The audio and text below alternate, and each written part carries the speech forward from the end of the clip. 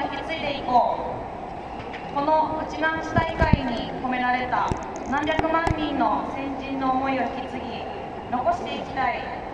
世界のうちなん市として誇りがあるからこそ大好きな島のために何かしたいと世界のうちなん市大会若者学生事務局が立ち上がりましたそうですね、こっちはライブで、アイデンティティの継承。うちなーネットワークの継承を目的として活動しこの沖縄で一体私たちに何ができるのだろう？アイデンティティとは何か？私たちのルーツはどこか？そして私たちが引き継ぎ未来に伝えるものは何なのかを必死で考えてきました。海外の若者と沖縄の若者でワールドユースチナンチアソシエーションを立ち上げ時にはメンバー同士がぶつかり合い本気で語り合い涙を流すこともありましたが私たちに共通していることが2つあります。それは優しさたくましさ嬉しさいろいろな才能が詰まったこの小さな宝の島沖縄が大好きでそしてうちなんちとしてこの島を誇りに思っていること。そして2つ目にこの島を忘れてはいけない。失われつつあるうちなんちやうちなんち魂を私たちが引き継ぎ次につなげていきたいという思いです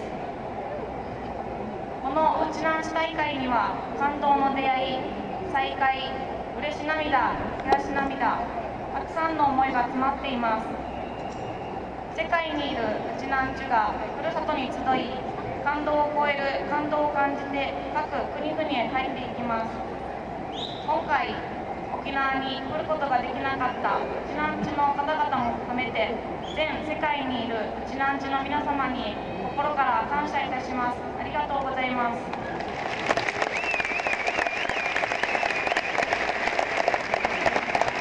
最後となりましたが私の大好きな言葉をご紹介させてください。その国の未来が見たければその国の若者を見ろ。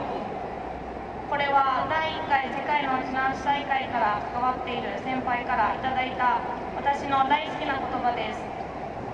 若者がうちなんちの魂を引き継ぎ次につなげていくことを宣言としご挨拶とさせていただきます。皆さんまた国や国いいチェウカナミラまた5年後にこの島で会いましょう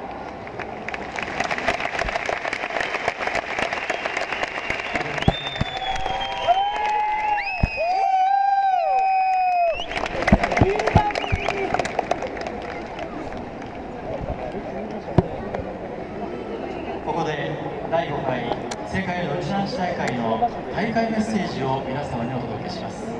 メッセージは上原秀之君玉本みなみさんです And now here's a message of our first worldwide Uchinash Festival by Nanami Tamamoto and Hideyuki Uehara. Les presentaremos ahora el mensaje del quinto Festival Mundial Chinanchu. El mensaje